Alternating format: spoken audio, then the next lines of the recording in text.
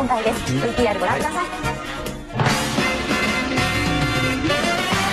みんなに草薙君はちびつよしって言われたんですよ、ほんでバク転とかバク宙とかすごい得意なんですよ。そしたら僕なんか珍しいですから「ほらちびつよしバク転しろよ。はいこれからバク転します」みんながやれっつったらもう何回でもやるんですよ。